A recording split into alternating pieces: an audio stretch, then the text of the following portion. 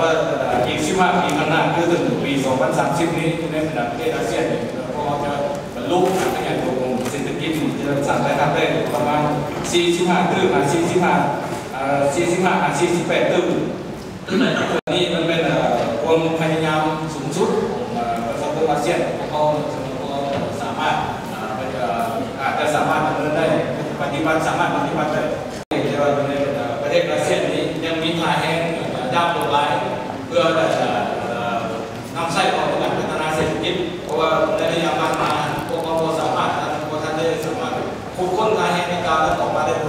ต่อรายงานอีกหนึ่งคือพวกเขามี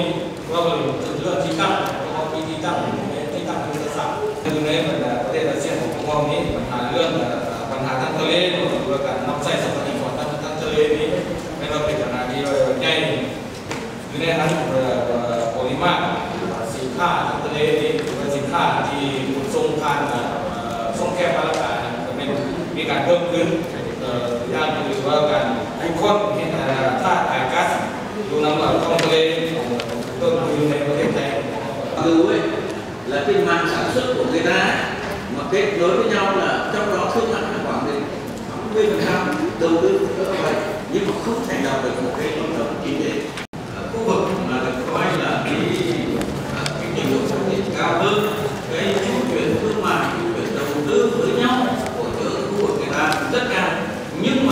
là một cái cộng đồng kinh tế hay là một cái FTA giữa họ với nhau là họ ờ, còn lại là nên thì còn là nước ta hay là còn ta gì thì rồi nên không phải không không gì vì ta hay là còn là cái của ta sẽ bị bị xuống về bản sản và sản phẩm mục tiêu thì trong quá trình mà chuẩn bị của cộng đồng này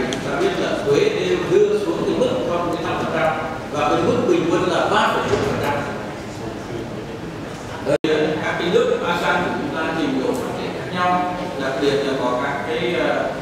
cái cái, cái thành ờ, các cái nước mà ta hay gọi là